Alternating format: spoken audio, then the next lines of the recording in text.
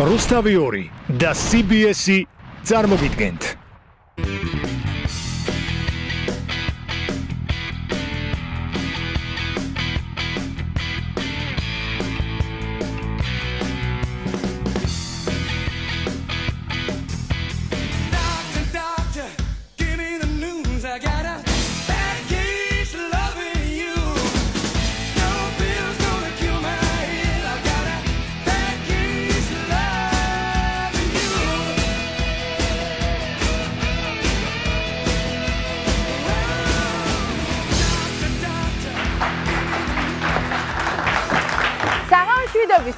გადაცემას ექიმები. ხომ იცით, აქ ყველაზე კომპეტენტურ სამედიცინო რჩევებს გასცემენ.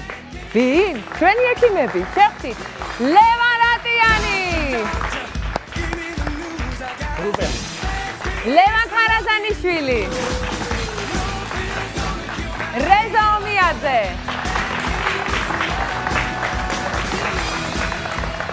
დღეს გავიგებ თუ როგორ მოუვაროთ გულს. გავარკვევთ რა არის სლივგასტრექტომია. გეტყვით რომელი ხუთი ნივთი უნდა გაიტანოთ სახლიდან დღეს. მოგიყვებით, მოქმედებს თუ არა ალკოჰოლი განწყობაზე? მაშასე ექიმები გიწნებენ. მაშასე მინდა დავიწყო გამოცანით. დაგვისახელეთ ორგანო, რომელიც არის ყველაზე პოპულარული მსოფლიო ლიტერატურაშიც და მუსიკაშიც. რა არის ეს ორგანო? მე დაგასწრებთ. გული. მართალი ხარ, ლევან, გაგიკვირდება და მართალი ხარ შენ. და მე მგონი, სამეცნიერო ნაშრომებზე უფრო მეტი მართლა, ესე ვთქვათ, ტექსტებია დაწერილი და მართლა მუსიკა შექმნილი ამ ორგანოზე. რომელი პოეტი ამღეროდა და რომელი ამღერალი და ასე შემდეგ. რითი დაიმსახურა გულმა ამხელა პოპულარობა და ყურადღება? ალბათ იმიტომ, რომ ის არის ერთ-ერთი ყველაზე ფაქიზი და სიცოცხლისთვის ყველაზე მნიშვნელოვანი ორგანო. სამწუხაროდ, როდესაც ის დაავადდება, სიკვდილობის პირველ ადგილზე დგება. ამიტომ ნათქვამი ეგეთი რაღაცა მედიცინაში რომ სიცოცხლე ეწება გული და სიცოცხლე მთავრდება გულის გაჩერებით. დაგეთანხმები ლევან, ყოველწლიურად გულსის ზარხთა დაავადებებით სამწუხაროდ 18 მილიონზე მეტი ადამიანი იღუპება.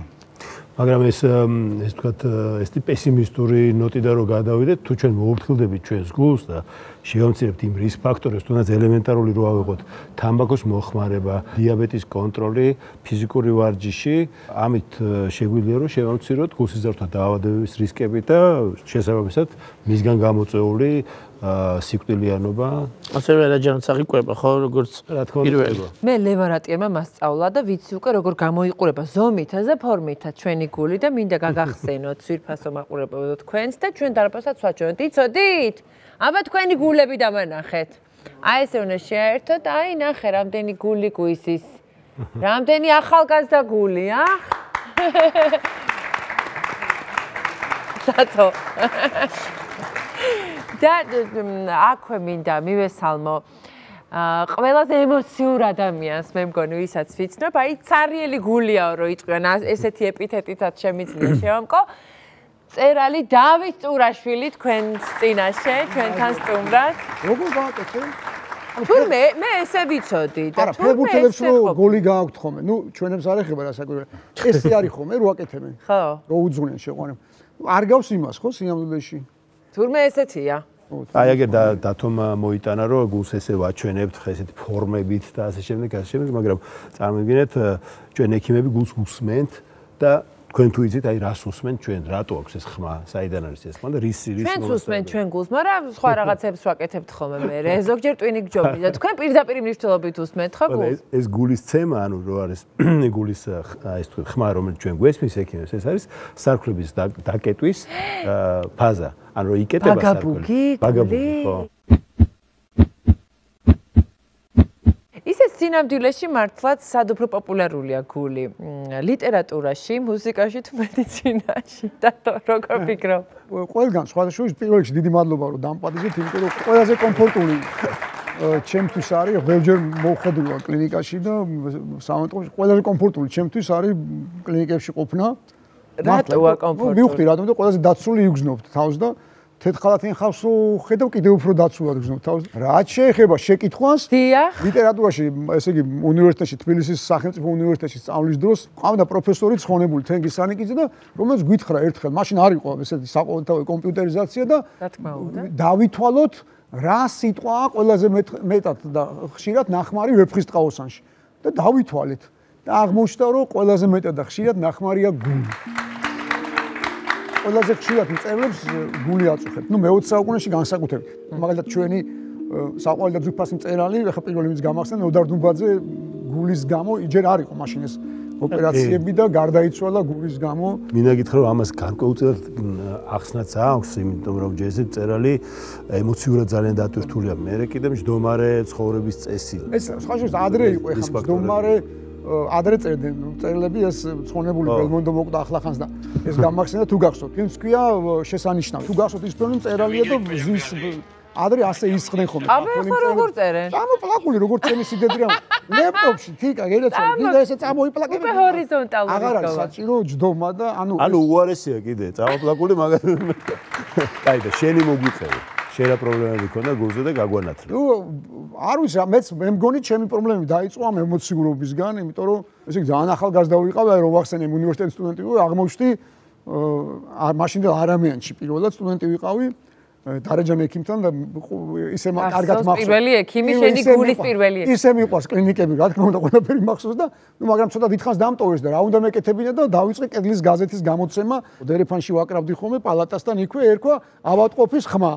ხო და ბოლოს რა მიმაწეინა ეს უცნაური ფრაზა რომ შემდეგ ნომრისთვის მივიღებთ ასევე ესე იგი თუ ვინმე წერს ან მოთხრობა იქნება ლექსი ან წერილებს ანუ მომაკითხეს არა მარტო იმ განყოფილების ამოტყოფემ არამედ გავცელდა ეს სხვა კორპუსებში ხო ის ბევრი კორპუსი სხვა სამატყოფოები და იმიტომ რომ სადაებაშა საბჭოთა კავშირის ხო არ არსებობდა ამის საშუალება არ იყო და მომადგა იმდენი ხალხი რა ვეღარ ეტეოდა ჩემ პალატაში ეს ხელნაწერები და იძულებული გახდნენ ნაადრევად გამომწერეს იმიტომ ჩიხში მოვეკეცი სად უნდა წამიყო არ ვიცი რა ბიშვი სხვა შეს რა ნოდარდუმბაძის დროს რაც არ არსებობდა ის ოპერაცია მაქვს გაკვეთებული და ვინც ესე კიდე რამდენ წელს იცოცხლებ და ბატონი ნოდარი ეს ოპერა მაშინ ყოფილიყო ასე ეს კარდიო ქირურგია ხო სწორად ერთოდ რა რა გაწუხებდათ რა რა ქვია დიაგ შენს დიაგ მქონდა რა რა დარდები. დარდები რა აწუხებს ქართველებს და ქართველებს მithumeda დარდები დარდების გული რატო ზაგაგ ბატონ დათო, საერთოდ კარდიოპათოლოგები, როცა ადამიანს განსაკუთრებით ახალგაზრდა ასაკში ვითარდება, მას რაღაც რიჯგუფში უნდა შედიოდეს. თქვენ შემთხვევაში ეს რიჯგუფი არსებობდა? ესე იგი, ეს შეტავა რის გამოც ოპერაცია ფეხბურთის დროს, ფეხბურთის თამაშის დროს დამეწყო. სხვათაშორის იმ აი ჩვენ რო კითხოთ მაგალითად გამოკითხო რო ჩავატაროთ აი დიაბეტი ქონდა შენ? არა არა არა. ანუ სიმსუქნეც არ გაწუხებდა არა რა სიმსუქნე აბა?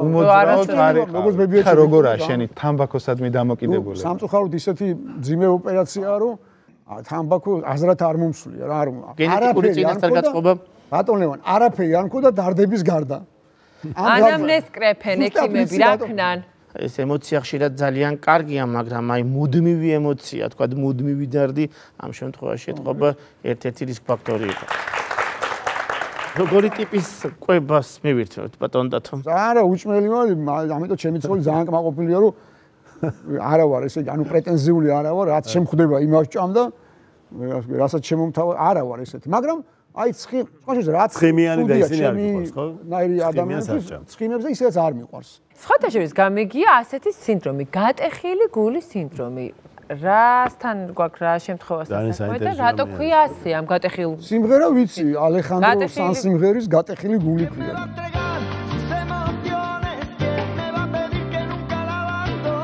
გატეხილი გული ეს ტერმინია, რომელიც იაპონელების აღმოჩენილია, ანუ 1990 წლებში პირველად დააფიქსირეს და აღწერეს.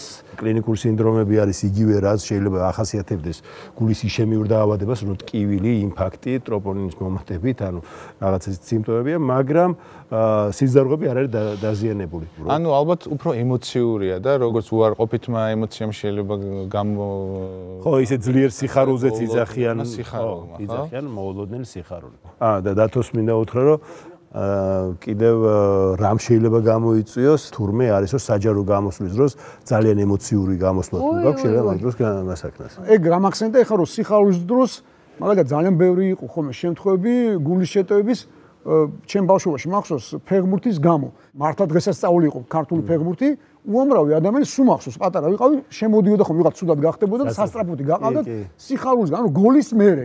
ჩვენები რომ გოლს გაიტანდნენ და ნუ რამდენი ხანი არავინ არ წაუყვანეთ ქართული ფეგმურთისგან გახარებული, რამდენი წელი გავიდა და ადრე იყო გენი. ეხლა პირიქით შეიძლება ცუდად გახდა, კაცო, რამდენი წელი უნდა გავიდეს რომ ვერ მოიგო და კი ბატონო ცუდა იმისგან დარდისგან კი ქართული ფეხბურთის დარდი კიდე რამდენი დარდია მაგრამ ნუ ესეც მოდით რა სიტყვით მითებსა და რეალობებს რო გავყვეთ და მაგალითად პირველი მითი მოდი ყუთებთან გადავინაცვლებ და იქ განვიხილოთ უიმე რა კაი სიტყვა აქ ამ ყუთს მოდით გავარკვეთ რა და შიგნით აბა აჰა ფინჯანი ყავა და ფინჯანი ჩაი ანუ კოფეინი და მისი ზემოქმედება ჩვენს გულზე. მითია თუ რეალობა, რომ კოფეინის მოხმარება არ არის რეკომენდებული გულისთვის. დარბაზი გაურებულია, რა არის ჭეშმარიტება? ეს არის მითი. აა, უამრავი კვლევები იდება ყოველწლიურად, ხა პოპულარული თემა არის ძალიან. მე პირადად ჩემს პაციენტებს არ უშლი, მაგრამ ყველაფერში ზომიერება გმართებს, რა თქმა უნდა. რამდენი ჭიქა ყავა? ნუ ის როგორ არის ინდივიდუალურია რა თქმა უნდა, სადღაც 4 ჭიქა ჩაისა და ყავას შორის რო გავანაწილოთ, თავს ასატანია ჩვენი გულის. აი თუ ყავა, დათო. რომელი ვინო რა თქმა უნდა. თუ ჩაი და ყავა არაო, დათომ თქვა. ო, დათო აი. აგერ კიდე ერთი საკამათო საკითხი განვიხილოთ. როგორი არის ღვინო, განსაკუთრებით კი წითელი ღვინო ჩვენი გულისთვის? ყოველდღიურად ერთი მაქსიმუმ ორი ჭუ ორი ჭიქის მიღება 100 მილილიტრი 150 მილილიტრის მიღება სრულიად უვნებელია და პირიქით მას გატეხილ გულსაც ამთელებს ხო? კი. ამიტომ მე მოვიზოგავ ამერჭიქა ღვინოს თელი საღამოს განმავლობაში მოვწრუპავ. ჩვენ მანამდე დავლევთ იუვენილურ წყალს. განვიხილოთ ფრანგული პარადოქსი. პარადოქსი რაში მდგომარეობს, რომ მოგეხსენებათ ფრანგების ცხოვრების წესი როგორია, ხო? საკმაოდ ცხიმიან საკვებს მიირთმევენ და მიუხედავად ამისა, საფრანგეთის მოსახლეობაში ესეთი გულსისახშთა დაავადებების მაღალი მაჩვენებელი არ არის. რას მივაწეროთ ეს?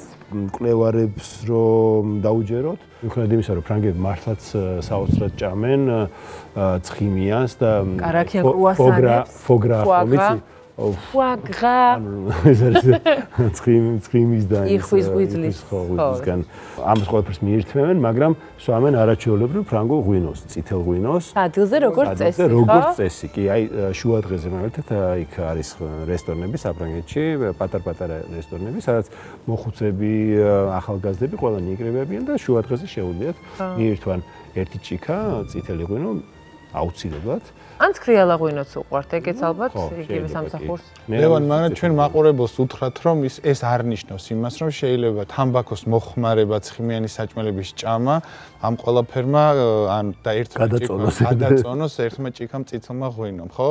შენს რო გაუფრთხილდე შენ გულს და რო არ გეტკინოს და ჩვენს მაყურებელის გულებსაც რო გაუფრთხილდეთ, შევაჯამოთ და კიდევ ერთხელ მივცეთ რეკომენდაციები ჩვენს მაყურებელს გულთან დაკავშირებით. თავი ავარიდოთ თამბაქოს მოხმარებას პირველ რიგში. არ მიიღოთ ზომაზე მეტი ალკოჰოლი, არ დაგავიწყდეთ ფიზიკური აქტივობა, შეინარჩუნეთ წონა, იკვებეთ ჯანსაღად, აკონტროლეთ რისკ ფაქტორები, მაღალი წნევა მაგალითად და მაღალი ქოლესტერინი.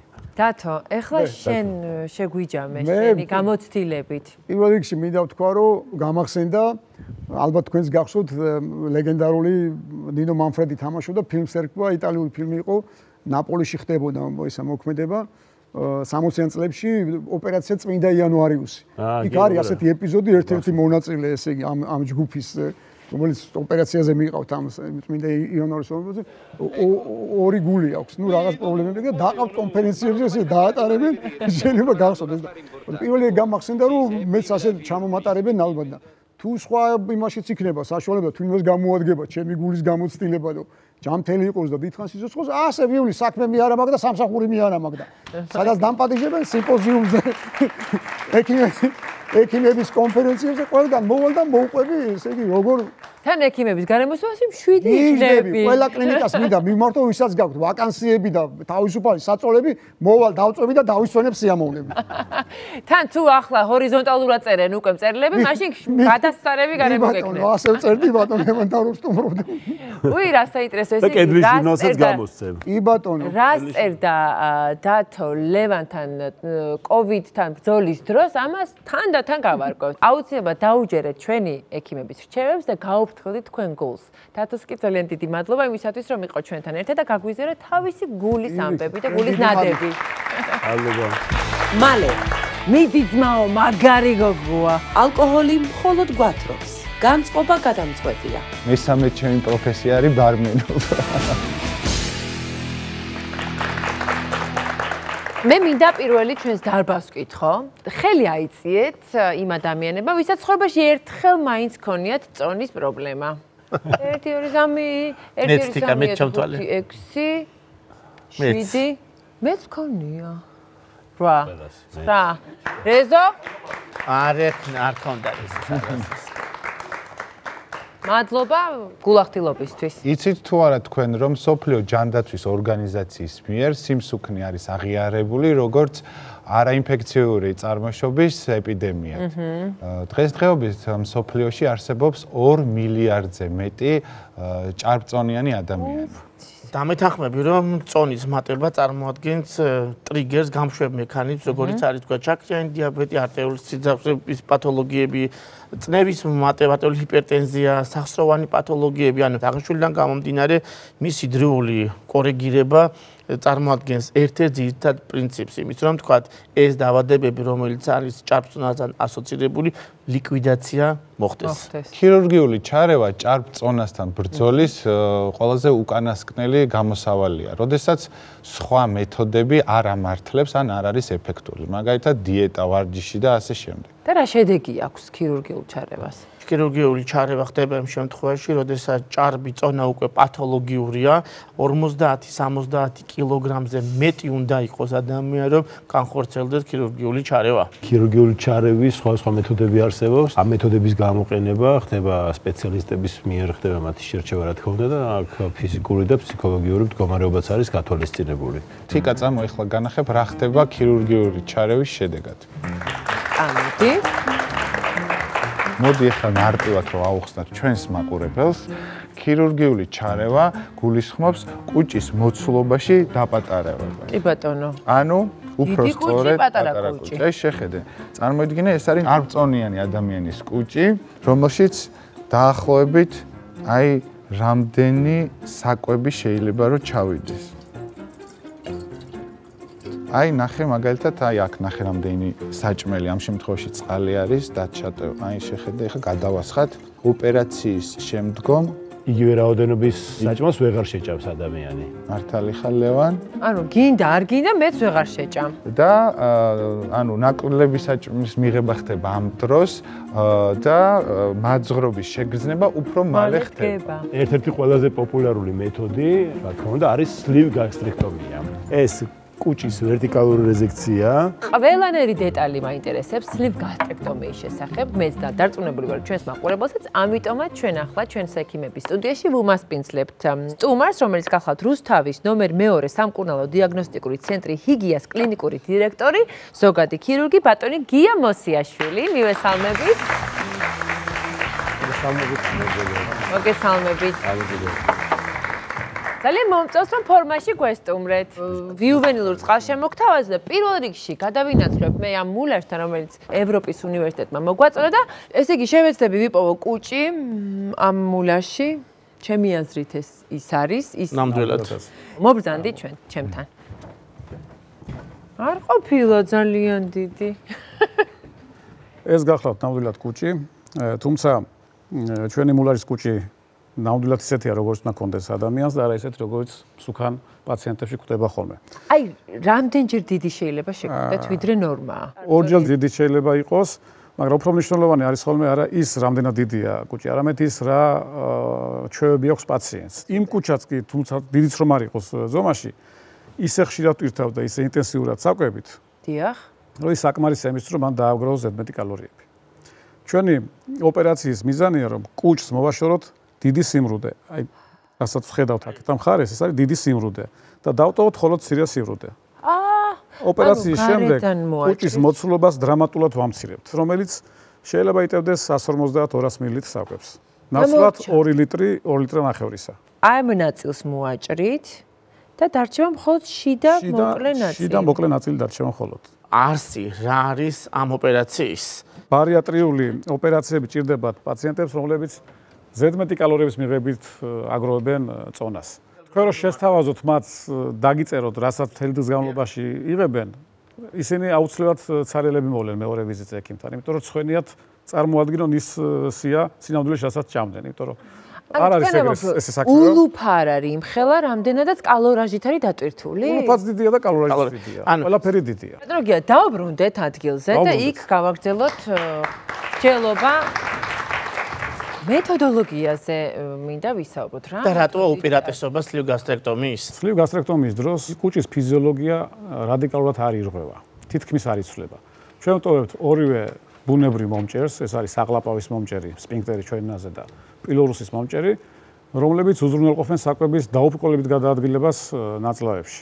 პლუს ამას პაციენტს არ აქვს მალაბსორბციული სინდრომები. ანუ საკვების შეწოვაც ისევ ისე გრძელდება, როგორც დიდი კუჭის შემთხვევაში გაგრძელდებოდა და არ ჭირდება დამატებითი ვიტამინოთერაპია, მინერალების მიღება, რაც სხვა ტიპის ბაიპას კუჭის მუტირების ოპერაციის შემთხვევაში აუცილებელია და და თან მუდმივად ხომ ასე? მუდმივად და თან ასე რუტინულადაც ვერ მიიღებს პაციენტი, მას ჭირდება დამატებითი ანალიზები თითქმის ყოველთვიურად, რომ შეიმოწმოს რა მდგომარეობაში აქვს მას მიკროელემენტები, რა მდგომარეობაში აქვს ვიტამინები, ეს ყველაფერი ხარჯებთან არის დაკავშირებული და ხშირად პაციენტებს არ აქვს საშუალება რომ ეს გამოკვლევები ჩაიტარონ. ამასთან არც არ უნდა გვავიწყდეს რომ შუნტირების ტიპის ოპერაციები მაინც რჩება დღის წესრიგში თუ სლივ გასტრექტომიის შემდეგ ჩვენ ვერ მივიღეთ სათანადო შედეგი.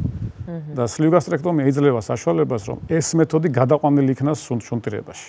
და აი სათანადო მეთოდი რატომ შეიძლება რომ ვერ მივიღოთ? იმიტომ რომ ხშირად გამიგია რომ დაუბრუნდა ადამიანი იგივე წონას რაღაც პერიოდის მერე და ეს რასთან არის დაეკავშირება? აი სამი მეთოდი რომ ავიღოთ ბარიატრიული ოპერაციის კუჭის ბანდაჟირება, სლივ გასტრექტომია და შუნტირება უნდა ვთქვათ ასე რომ ყველაზე ნაკლებს აკლებინებს ბანდაჟირება, შემდეგ სლივგასტრექტომია და შემდეგ შუნტრიების ტიპის ოპერაციები. ბატონო გია, როგორია პოსტოპერაციული პერიოდი და არის თუ რა შესაძლებელი კუჭის მოცულობის კვლავ გაზრდა სლივგასტრექტომიის შემდგომ პერიოდში? თუ პაციენტი არ იცავს პოსტოპერაციულ რეჟიმს, მაშინ ხდება კუჭის მოცულობაში გაზრდა. ეს 10-15%-ში სამწუხაროდ ხდება ესეთი შემთხვევები.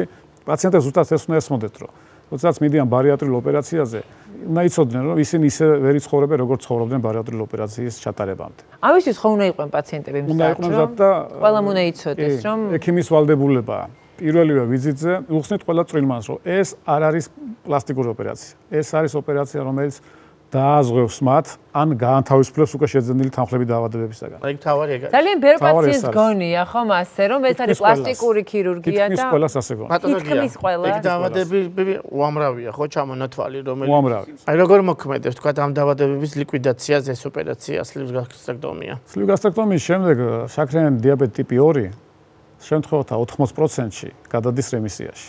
პლუს ამას გარდამავალი არტერიული ჰიპერტენზია პრობლემებს აწუხებს პაციენტებს თითქმის რომელიც უამრავ გართულებას იძლევა დაწყებული ინსულტი, კორონარული არტერიების დაავადება და ასე და ასე შემდეგ. მოკლედ ამ მეთოდით ადამიანი წონაში კლებულობს და შესაბამისად ის რისკ ფაქტორები ეს იქნება დიაბეტი თუ მაღალი არტერიული წნევა ყველაფერი მცირდება. ასეთი გამონათქვამი გვაქვს ქირურგებს რომ 2.40-ის წესია. თუ არის ხეულის მას ინდექსი 40-ზე ზევით და ასაკი 40-ზე ზევით, და თქვენ არაფერი არ გჭირთ, აუცილებლად რაღაც დაგემართებათ. უნდა მივხედოთ სხეულის მასის 40 40-იან ინდექსს, უნდა დავაკლოთ როგორმე. და ალბათ პანდემიამ კიდე უფრო გაამძაფრა და ადინამიურმა ცხოვრებამ ეს მაჩვენებლები. საინტერესო რამდენად ხშირად მოგმართავენ თქვენ კლინიკაში ამ თუ შევადარებთ ოპერაციების რაოდენობას, მომართვიანობას, დრამატული სხვაობა იქნება. ანუ ბევრად მეტი მოგმართავ და გაცილებით, გაცილებით, იმიტომ რომ ამ ოპერაციის ჩატარებას ჭირდება გადაწყვეტილების მიღება და მომზადება. ჩვენთან საუბრის შემდეგ საფიქრალ დროს იღებს ერთი ასე ფინანსური და მეორე საკითხია ფინანსური თემები. ჩვენ ქვეყანაში ეს ოპერაცია დღეს არის პაციენტის ჯიბიდან დასაფარი ოპერაცია, სხვა დაფინანსების წყარო პაციენტს არ აქვს. საყოველთაო არაფინანსებს. საყოველთაო არაფინანსებს. თუ რამდენ ადამიანს უკეთდება დაუშვათ ოპერაცია? ჩვენი კლინიკა ზოგადად ტრადიციული სამონტოფოა რუსთავში, თუმცა ქირურგიული სტაციონარი სულ 2 წლის არის. და ჩვენ 2021 წლის თებერვლის თვიდან დავნერგეთ ბარიატრიული ოპერაციები და თვეში 60 ოპერაციას ვაკეთებთ. ვითვალისწინებთ იმას, რაც ამ თქვით, რომ პაციენტებისთვის ძალიან ძიმეა ოპერაციის ხარჯების დაფარვა და ხელს უწყობთ იმით, რომ მენეჯმენტმა გადაწყვიტა უპრეცედენტო დაბალი ფასი იყოს ოპერაციაზე საქართველოს მასშტაბით. ახლა არ მინდა რიცხვებზე ლაპარაკი, მაგრამ დამერწმუნეთ, რომ საქართველოში ასეთი ფასი ახლოსაც არ არის არსად. ვცდილობთ რომ შევქნათ კულტურა ბარიატრიული ოპერაციების. ეს არ არის პლასტიკური ოპერაცია, ეს არის სიცოცხლის გადამშენელი ოპერაცია. რა მეთოდით კეთდება თქვენს საავადმყოფოში ეს ენდოსკოპიურად? მნიშვნელოვანია რომ ოპერაცია კეთდება ლაპარასკოპიული მეთოდით, პაციენტს აქვს რამდენიმე ნაჩვეთი მუსლის ინაკედელზე. რომელთა დახმარებითაც და პლუს ვიდეოკამერის დახმარებით მონიტორებზე კეთდება ოპერაცია და პოსტოპერაციულად პაციენტი პრაქტიკულად დღენახევარში არის ისეთი აქტიური, რომ ბინაზე გაშვებაც შეიძლება. ჩვენ ყავს ახლა სტუმრად ქალბატონი ირმა პერტენა, რომელმაც გაიკეთა სლივ გასტრექტომია და ნახოთ უკვე რას გვიამობს ის თავად. მოგესალმებით ყველას. ადამიანს თუ სურს რომ იყოს ჯანმრთელი, როდესაც აქვს ძალიან დიდი წონა, ნამდვილად ამ მეთოდს უნდა მიმართოს. სანამ მე გავიკეთებდი ამ ოპერაციას, არტერიული ჰიპერტენზია, შაქრიანი დიაბეტის პრობლემა, ასევე რაღაც წლების წინ ცოტა თუ დავარიაში მოვყევი და მუხლის ახს არ იყო დაზიანებული და ჯოხით მიწევდა აქტიურად სიარული. ამ ოპერაციის მერე გლუკოზა დარეგულირდა, წნევა დარეგულირდა. ნუ ჯოხი აღარც მახსოვს უკვე რამდენი ხანი. რა მაგარია. არ მიხმარია. მე მაგალითად კაი პურის ჭამელი ქალი ვიყავ თელ ცხოვრება. ამას მე არც მავა. ჩააბარე წარსულს ეგ ჩავაბარე. კი, ჩავაბარე, იმიტომ რომ რამდენი კილო გაქვს დაკლებული? 36 კილო მაქვს დაკლებული ამ 6 წლის განმავლობაში. ბატონო ირმა, მინდა მოგვიწიოთ აი განაპირა მაგიდასთან და იქ გადაავალო თვალი რაციონს, რომელიც დევს მაგიდაზე და რატომ დევს ამას მე მგონი თავად მოგვიყვებით, ხო? წამოვდანდით. ჯოხის გარეშე მარტივად კარგი, ეხლა გავყვეთ მაგიდაზე არსებულ ორ მხარეს. რა გვაქვს აქ? ნუ აქ გვაქვს ყველაფერი ის, რასაც მე მივირთმევდი დიდი სიამოვნებით ოპერაციამდე. რითი იწებდი ცაუსმეს? ფინჯანი ყავით? აუცილებლად ეს ჩვეულებრივი მოვლენა იყო ჩემს ცხოვრებაში. და რამდენი ყოფს შაქარს ეყრით? სამი. მოვიდო და სადილის დრო. დიახ. ეს არის სადილი. ხო? აა ჰამბურგერი? კი ბატონო. აა შემწვარი კარტოფილი. და პლუს პური. კი, ეს ყველა. ხო, 1 2 3 4 5 6 7 ნაჭერი პური გამოდიოდა დღის გამ. ერთ ჭამის დროს ჭამდი, ამას მხოლოდ. კარგით. ვახშამი ის უფრო არის თუ ეს? ის და ეხა არ მითხოთ რომ 6 ნაჭერს. არა, არა, არა. აი ამ ფარის გოშ მაინც ხოძრება ეხა ეს სურნელი. საერთოდ არ გიჩუყდებათ გული? არა. საერთოდ არ გიჩუქდა. იცით რა არის ყველა პაციენტმა სანამ გაიკეთებს უნდა მოამზადოს რა თავისი თავი იმისთვის რომ შეიძლება ძალიან ბევრი ესეთი მათსუნებელი სუნებით წამოვიდეს, მაგრამ აღარ არის საჭირო რა. ეგ არის მთავარი გარდატეხა, ხო სწორია. თქვენ მარტო შეძელით ეს? თუ დაიხმარეთ დავშო ფსიქოლოგი? არა, ნუ ხო მე მართლა მარტომ შევწელი ეს ყველაფერი. ოჩა, ნამდვილად აპლოდისმენტები, იმიტომ რომ ეს არის ალბათ პირველი გარდატეხა და შემდეგ უკვე უშუალოდ ოპერაცია. ეხლა უკვე ახალი ირმას რაციონი განვიხილოთ. დავიწყოთ საუზმეთი. დიახ. ეს რატო ამდენი კოვზი 1 2 6 კოვზია სწორად არის გათვლილი სხვათა შორის, იმიტომ რომ 6-დან 8 კოვზამდე არის დოზა, რომელიც შეიძლება მიიღო. ახალი კუჭის პირობებში. ახალი კუჭის პირობებში ნამდვილად. 6 კოვზი შრის ფაფა მაგალითად. შრის ფაფადია. უშაქრო. უშაქრო რა თქმა უნდა. მოვედით სადილთან. კი ბატონო. წვნიანი? დიახ. და ორი კვერცხი? კი ბატონო. მორჩა? მორჩა, მეტი არა. ცოტა პური არა? არა, არა. არა, არა, არავით არ შემთხვევა. ანუ პური საერთოდ აღარ არსებობს. არა, აი პური იმდენად იშვიათად შეიძლება მივიღო, რომ რა ვიცი, მავიწყება კიდევაც. აა, ვახშმად გვაქვს ერთი ცალი მომცრო ზომის ვაშლი და ერთი ჭიქა კეფირი რაღაც ანონწონი. კი ბატონო, ეს არის აი ეს არის საკმარისი? ნამდვილად არის საკმარისი. ანუ თქვენი ორგანიზმი ამით არის დაკმაყოფილებული, რომ მიიღოს საკმარისი ულოთა და მიდის კლება. კი, მიდის. რა არის მიზანი? სადამდე უნდა ჩამოვხვიდეთ აი ამ პირობებში და აი ამ ახალი? დიდი იმედი მაქვს, რომ ერთ წელიწადში დაახლოებით კიდე ალბათ 10-დან 12 კილოგრამამდე დავიკლებ. დიახ. მე ნამდვილად დარწმუნებული ვარ, იმიტომ რომ მე მინდა და გავაკეთებ ამას. მეც რა თქვენი? ხო და აი, როცა ფიზიკურადაც კარგად გამოიყურებ, პლუს კიდე ემატება ის, რომ გამთელობის პრობლემები გეხსნება. აი, ხა ამდენი პრობლემა მომეხსნა. ეს ძალიან ბევრი იყო, მინდა გითხრათ, ნამდვილად ძალიან ბევრი იყო. უფრო ოპტიმიზი ხდები და უფრო პოზიტიურად ხარ ძალიან ბევრი რაღაცების განწყობილი. ქალბატონო ირმა, ძალიან დიდი მადლობა. გილოცავთ ამ გამარჯვებას. საკუთარ თავზე გამარჯვება არის ალბათ ყველაზე დიდი გამარჯვება. გილოცავთ, ნამდვილად გადამდები მაგალითი ხართ იმისა, როგორ შეიძლება სრულიად შეცვალოს ადამიანმა ცხოვრება, თავის ცხოვრების წესი და ჩვევები და გახადოს ის ბევრად უფრო ჯანსაღი და კარგი ექიმის შერჩევი და დახმარებით ყველაფერი არის შესაძლებელი. ასე რომ თუ კი თქვენ შეამჩნიეთ რომ თქვენი წონა გიქნით გარკვეულ დისკომფორტებს და თქვენ ჯანმრთელობაზე არასასრულ სრულად აისახება, მაშინ აუცილებლად არ გადადოთ და მიაკითხეთ ექიმს. რა გვაქვს დღეს აქ? მე კა ეს არის 5-5, რომელიც ყველა ოჯახში დევს, მაგრამ მე მინდა გითხრა, რომ არსებობს ეს ნივთები, რომელიც ამ გადაცემის შემდეგ ამ ნივთებს აუცილებლად გაიტანენ სახლიდან. ანუ ამ ხუთ ყუთში დევს ხუთი ნივთი, რომელიც რო გადავყარო? რომელიც აუცილებლად უნდა გავიტანოთ სახლიდან. და ზუსტად იცი რომ მე მაქვს ეს სახლში? აუცილებლად გექნება დარწმუნებული ვარ 5-დან 4. დარბაშიც ყოველს ექნება? დარბაშიც ალბათ. აბა მაშინ დავიწყოთ. ჯაგრისი. მაქ. ეს არის ყველის ეს არის ყველის ჯაგრისი და არ ნიშნავს რომ ეგრევე უნდა გადავაგდოთ. კბილის ჯაგრისი აუცილებლად უნდა შევცვალოთ ყოველ სამ თვეში ერთხელ. კბილის ჯაგრისზე მისი ღერები დროთა განმავლობაში ცდება და დეფორმაციას განიცდიან. შესაბამისად, მას უკვე ხეხვის დროს არანაირი ეფექტი აღარ გააჩნია. როცა გავა სამი თვე, ან გვაქვს რაიმე ინფექციური დაავადება გადატანილი, ამ ჯაგრისზე რომელიც ჩვენ ხმარობთ, აუცილებლად დაგროვდება ცუდი ბაქტერიები და ეს ცუდი ბაქტერიები თავისთავად იწვევენ მეორად ინფექციის განვითარებას. არა მარტო ინფიცირებთ აქ? არა, მთელ ორგანიზმში. ეს არ ეხება მარტო პირის ღრუს, ეს ეხება მთლიანად, მაგალითად კოვიდის, როცა მოვიხდით აუცილებლად გადავაგდოთ ის ჯაგრისი. გადავაგდოთ ჯაგრისი. მოკლედ, გადათვალეთ და თუ გასულია სამი თვე, გადავაგდოთ. არა უშავ, შეველიოთ. როგორ მაინტერესებს მეორე ყუთში რა უნდა იყოს, რაც ყველას გვაქვს თან?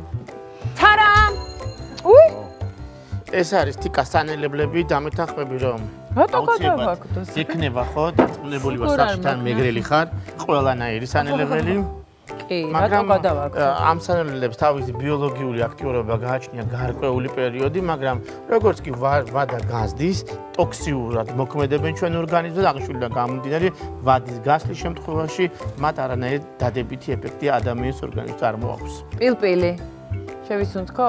ასევე მინდა გითხრა რომ თუ მშრალი სანელებლები გვიდევს ნესტიან ადგილზე, იცვლის თავის ბიოლოგიურ თვისებას და მეორე მომენტია ჭიები და მატლები საბუდარეც კი გახდეს. რამდენ ხანში ერთხელ უნდა გადავყარო კი რა და ჩავანაცვლო თუ ვერ მოვიხდა. იმდენი ხარჯო თუ ვერ გავაკეთე რა ვხრი? ყველა სანელებლს აწერია თავის ვადა. ამ ვადებს დავხედოთ. ამ ვადებს დავხედოთ. თუ არა წერია და ეს არის თქვა. სოფლიდან გამომიგზავნეს.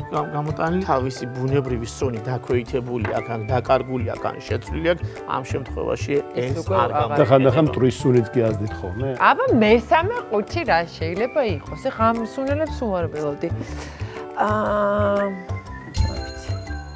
ოჰო. ვაი მე რა არის ეს?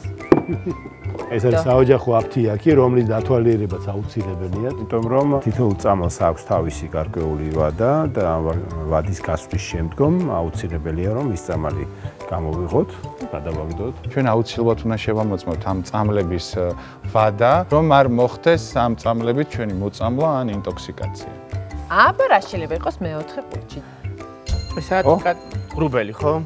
კანს ახასიათებს თქვა ეგრეთ წოდებული ეპითელური ქსოვილია და ეს ეპითელური ქსოვილი ჩამოფწკნა. სწორედ ეს არის ღრუბლის ფუნქცია, მაგრამ თუ ის ერთვეზე მეტი პერიოდი ვიხმარეთ, ვერ გავრეცხავთ მას ისე ბოლომდე, რომ ჯერ ჩამოფწკნილი ეპითელური უჯრედებისგან გამოთავისუფლოთ, მეორე მას ემატება ეს ხო აბაზანაში რჩება და ნესტი, ნესტში ხშირად მრავლდება სოკო. და ბაქტერიები აღშულიდან გამომდინარე არათუ სასარგებლო შეიძლება იყოს ეს ადამიანისთვის პირიქით შეეჭრას ინფექცია და გამოიწვიოს სხვადასხვა კანის გართულებები. ამიტომ ყოველი დაბანის შემდეგ ჩვენ ეს ღრუბელი აუცილებლად კარგად უნდა გავრეცხოთ, გავწუროთ და შევინახოთ მშრალ ადგილას. მგონი რეკომენდირებული ერთ თვეში აი ამ ღრუბლის გამოცვა. აბა ნახოთ ბოლო ყუთში რა არის? იცით თქვენაც არის. არა. ვაი? ჭიქა? ეს არის აბზარული ჭიქა. თუ კარგად დავაკვირდებით, ყველას აქვს სახში ერთი საყვარელი გაბზარული ჭიქა, რომელიც არავითარ შემთხვევაში არ უნდა დავტოვოთ გაბზარული ჭურჭელი. ვინაიდან ნახეთიკა. აი ამ შემთხვევაში ხო რო ვრეცხავთ შეიძლება ვერ გავერ ბოლომდე ნამდვილად არ გაირეცხება. აი აქ აუცილებლად ჩაჯდება ბაქტერია რომელიც შეიძლება გამოიწვიოთ შემდგომში გართულება. უამრავი არის საშუალება ხო ვრეცხავთ ვრეცხავთ ვრეცხავთ მაგრამ აქიდან ვერ ამოვრეცხავთ. თიკა მე იმედია პირობა შემისვლებს სიმართლეს მეტყვი ხუთი ნივთიდან დიახ რომელიც ჩვენ გავიარეთ დარწმუნებული ვარ მე და შენ დღეს შენთან რო წავიდეთ ხუთი ვეში გვექნება პრობლემა. ერთის გარდა. და თუ გამოიცნო ბიცეთი რომელია? ერთი რომელი უნდა იყოს? გრუბას არ ხმარობ, მე მგონი ეგ არის. გამომიცა. ვიდრე მე ხო ნეჭა ხმარობ, ხალხო, ექიმებში რომ ასწავლეთ, ნეჭა. შხაპის მიღების დროს გამოიყენეთ ნეჭა. მე მე ნეჭა რა არის? ეს იგი ნეჭა რა არის იცის ლევან ხარაზანიშვილმა და არ ვიცი მე და თურმე ცელულიტის ყოფილა კარგი. გადმომეცა ნეჭა სადღეს სასწავლო ვითარებაში. აჰა. მოკლედ, გადახედეთ თქვენ სახს და დარწმუნებული ვარ, რომ ხუთივეს თუ არა რამდენიმეს მაინც იპოვით ისეთ ნივთს, რომელიც წარმოგვიდგინეს დღეს ჩვენმა ექიმებმა და რომლის გადაგდებაც გვირჩიეს. ახლა მე წავალ GPS-ის სტენდთან, სადაც ხელებს დავიმუშავებ. ისე ჩვენც არ გვაწმინდა. ესეთი პატარა პორტატული აფთიაქიც აქვს ჩიპისის და სხვათა შორის მე მაქვს მანქანაში და ზამის ძოვან იქაც უნდა შევიხედო ხომ არ გაუვიდა ბატა რომ სხვათა შორის ვიტამინების კომპლექსად შეიცავს და ძალიან აი არბილებს კანს და არ აშრობს განსხვავებით სხვა საშუალებებისაგან. GPS-ი გირჩევთ, პრევენცია არის საუკეთესო საშუალება. მოიშორეთ თავიდან ეს ხუთი ნივთი და იყავით კარგად. ეხლა გთავაზობთ ერთ ძალიან მაგარ თამაშს. ერთი რამე თუ გსმენიათ, რომ სხვადასხვა სასმელი განსხვავებულად მოქმედებს ადამიანის ხასიათზე. გსმენიათ? როგორ არა? როგორ არ გსმენიათ? ძალიან კარგი. მე ახლა მოგიყვებით, როგორ ასახელებენ ადამიანები სხვადასხვა სასმელს და თქვენ ამის მიხედვით უნდა გამოიცნოთ, რომელ სასმელზეა საუბარი. შევთანხმდით? დავიწყოთ. კითხვა ნომერი 1. დამიჯერე, მაგრაც ეკვა. ტეკილა. სასმელია? ტეკილა. ვისკი. ნახოთ რა ხდება ეკრანზე. ოჩა. ცოტა მარილი, ცოტა ლიმონი. ოჩა ხრეზო. ოჩა ხრეზოს ერთი ქულა. შემდეგი შეკითხვა. გინდა გამოსცადო რამდენად ძლიერია შენი მუშტი? აი ამ კაცის სახეზე? არაყი. არაყი? გინდა გამოცადო? ლევან, შენს გამოცადე. აი ამ კაცის სახეზე. კონიაკი. ვისკი. აბა რა. ვისკი, ერთი ქულა ლევანის სასარგებლოდ. ნახოთ შემდეგი შეკითხვა. სიყვარულის დროა. წითელი ღვინო. წითელი ღვინო? შამპანი. შამპანი. ქრიალა. ნახოთ რომელია სწორი პასუხი. ო, ო. ვაა. ორი. ჭახური. ორი ჭიქა ჭირდება სიყვარულს. რატომ არის ყველა შუქნიშანი მწვანე დღეს? არაყი. აბსენტი. იაგერმაისტერ. აბსენტი. ოჩა ხრეზო. რა ესე იგი რეზო ბარში გაქვს რამე გამოცდილება ბარმენობი? თავისუფალ დროს აი მესამე ჩემი პროფესია არის ბარმენობა. შემდეგი სასმელი. მიდი ძმაო, მაგარი გოგოა. არაყი უნდა იყოს ესე. მიდი ძმაო. ლევან. არაყი. არაყი, არაყი. პეტრი ღვინო. ლუგი. ვერ გამორცა. მიდი მოყევი, ყველა საინტერესებს შენი ბოლო დაშორების დეტალები. არაყი ეგეც არის. ვერ შეუსწავდა. მიდი, აი, კუიდან არ გადამიყვანო, მოყევი ახლა ბოლო ამბავი დაშორები. მარტინი. რა აღმოჩნდა ეს? საჭორაო მარტინი. ბიჭებს უყვართ დამაბნეველი მესიჯების მიღება ღამის 3 საათზე. ანუ გოგოები ამ სასმელს რო დაალევენ, შემდეგ ბიჭები იღებენ დამაბნეველ მესიჯებს ღამის 3-ზე. არაყი. ნუ არაყი დარჩება, არა ვერც ერთხელ ვერ გავარყით არაყი. ხოია. თელევინო. არახს ვაწვევით მე და ლევან. ნახოთ პასუხი. დამაბნეველი მესიჯები მოდის ვინის მოდის შემდეგ. ყოჩა, ხლევა, თან წითელიო. დაკონკრეტებით. აუ მგონი დროა ყოფილ საქმე გაურჩიო. თეთრი ღვინო. მოდი მე ვიტყვი ჭაჭას. არა, ეგ კონიაკია. სწორი პასუხი გახლავთ. არა. არა. აი მაინდა მაინც ეხა არა. არა. საქმე გარჩეულია სამი ჭიქა შესმულია უკვე როგორც დავინახეთ და შემდეგი სასმელი არ მესმის ცოტა ხმამაღლა ილაპარაკე. არ მესმის. ცოტა ხმამაღლა. ცოტა დედო. ღვინო და ლუდი ერთად. აა. ჩაკიდული თუ რა ქვია რაღაცნაირად. იაგერი ან რაღაცა. Long Island. აბა გთხოვთ პასუხი. ჭაჭა. ჭაჭა. აი, გე. აუ, გალამაზი ბოთი. მაგრამ Long Island-საც დაახლოებით იგივე ეფექტია. ჭაჭა შემოდგელობა? Long Island-ი ჭაჭი, დგა. და ბოლოს ასმელი. დამიჯერე. შენ იცი ამ სიმღერის ტექსტი. იხსნება მეხსიერება და ყველა სიმღერის ტექსტი. ეს დაგვჭა თეთრი ღვინო. არა, არა. მე მე ვიძახი. თეთრი ღვინო, კი, იმიტომ რომ სიმღერასთან ასოცირდება მართლა. თეთრი ღვინო სიმღერასთან. კონიაკი. ცოტა და ხარისხიანი. ოპა, მონი გააკვი. კონიაკი, კონიაკი. მოდით ნახოთ ბოლო პასუხი. ესე იგი მე როგორც იქნა კონიაკმა გაიმარჯვა. მოიგო ლევარატიანმა. სუპერ, გილოცავ. ესე იგი ექსპერტი სასმელების არა და წერმი არ ვარ. მოდი გავარკვიოთ მითია თუ რეალობა, რომ სხვადასხვა ალკოჰოლური სასმელი განსხვავებულად მოქმედებს ადამიანებზე, რას ფიქრობს დარბაზი? მითია თუ რეალობა? ორი მითია დანარჩენი რეალობა. ესე იგი, დარბაზის უმეტესობა ფიქრობს, რომ ეს არის რეალობა. რაშია სინამდვილეში საქმე? ეს არის მითი. ანუ არ მოქმედებს სხვადასხვანაირად? სინამდვილეში ფიკა ალკოჰოლური სასმელის ძალიან ბევრი სახეობა არსებობს. დიახ. აა სხვა-სხვა გემო აქვთ მათ და შემადგენლობაც. თუმცა აა ნიშნულობა დამეთანხმე არ აქვს, რას ვსვამთ, რადგანაც თავარი ინგრედიენტი თითოეულ ალკოჰოლურ სასმელში არის ეთანოლი. ალკოჰოლის როცა ვიღებთ ადამიანები პირის ზღუში გადადის, ამის შემდეგ ის გამტარი სისტემით საყლაპავის საშუალებით ხდება კუჩი, რა თქმა უნდა კუჩი დიდხანს მისი დაყონება არ ხორციელდება და გადადის ნაწლავებში. სწორედ ნაწლავებიდან ხდება შეწოვა ეგრეთ წოდებული აბსორბცია ალკოჰოლის გადადის სისხლში და სისხლის საშუალებით ცირკულირებს ორგანიზმში პირველი სადაც მიდის ეს არის ღვიძლი, ამის შემდეგ მიდის თავის თვინში, ამის შემდეგ მიდის თირკმლის საშუალებით გამოიყოფა. სწორედ თავში ასვლის შემთხვევაში ადამიანი ბრუდება და თრება. ეს არის სწორედ აუ, ცოტა ქიმიანს რო ჭამენ, ვითომ ამ პროცესს ანელებენ და ამის ქიმიანის მიღების მექანიზმი არის, რომ როდესაც თქვა და ძველად თამადები კარაქს ჭამდნენ დილით. იმიტომ რომ კარაქს ახასიათებს ერთი რამ, ნაწლავებში აცხიმოვნებს და ამიტომ შეწოვა ნაკლებად ხდება ალკოჰოლის. მეგობრებო, შევთანხმდით, რომ ალკოჰოლის გავლენა ერთნაირია ყველა შემთხვევაში, დაალევთ თქვენ ღვინოს, ლუდს თუ მეტად ალკოჰოლურ სასმელს. ანუ სასმელი კი არა, დამოკიდებულება და მოლოდინი ქმნის, ასე ვთქვათ, აი ამ სრუ განწყობას, რომ თითქოს ტეკილა უფრო მაცეკვებს, ვიდრე, არ ვიცი. ვისკი. კონიაკი ან რაღაცა სხვა.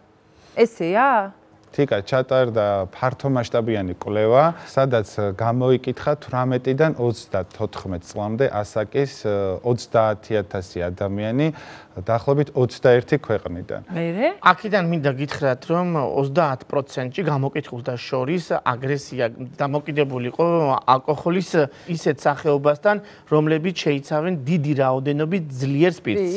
ამ კვლევიდან გამოვიდა, რომ 6-7%-ის აგრესია დამოკიდებული იყო ლუდთან და მხოლოდ 2%-ისთვის იყო ღვინოსთან ასოცირებული ეს აგრესია. 53% თვლის რომ წითელი ღვინო ასოცირებულია რელაქსაციასთან. ძლიერ სპირტიან სასმელს ვინ სვამს, ის რა თქმა უნდა ჭუბს არ გეკმავს.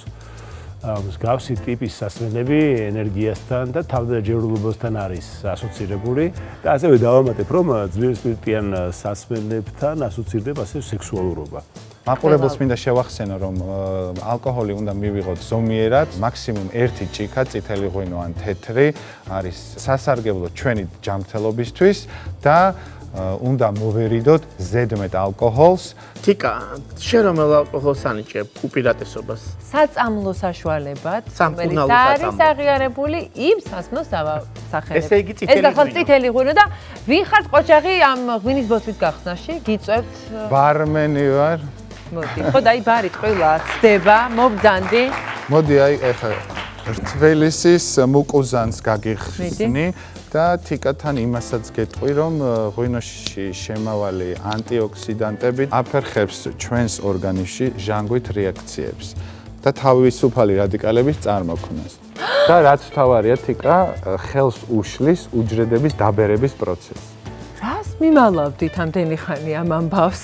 ამიტომ ეხა მე დაგისხავ და ღვინოს ხშირად ახალგაზრდობის ელექსირსაც უწოდებენ. თითელს ოღონდ, ხო? რა თქმა უნდა. დიდი მადლობა. მარტო მე მსურს აქ ახალგაზრდა რომ ვიყო? ჩვენ შემოგიერთდებით. შემომიერთდი. ჩვენ ახლა მივირთმევთ წითელ ღვინოს, მაგრამ თუ თქვენ გაწუხებთ ღვიძლზე რაიმე პრობლემები, ჯანმრთელობის სხვა პრობლემა, როგორიც არის მაღალი მაღალი არტერიული წნევა, შაქრიანი დიაბეტი და ასე შემდეგ, არ მიირთვათ ერთი ჭიქა წითელი ღვინოც კი ექიმის რეკომენდაციის ან კონსულტაციის გარეშე. მე გავიარე კონსულტაცია და დამწესნება. მომიჭახონეთ. ერთი და სამი. შემდეგ კვირამდე გემშვიდობები. ერთი კვირით გემშვიდობები. გამხელობა ხარებთ.